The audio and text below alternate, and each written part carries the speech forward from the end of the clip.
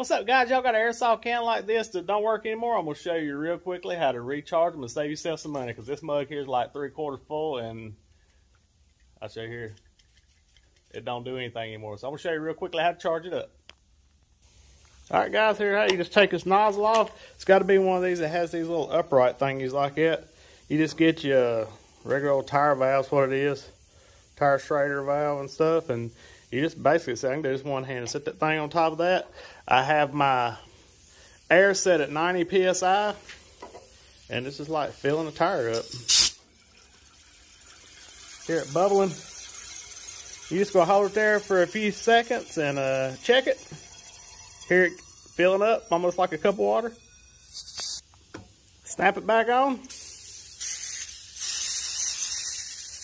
Brand new again. Check that out. Just like new.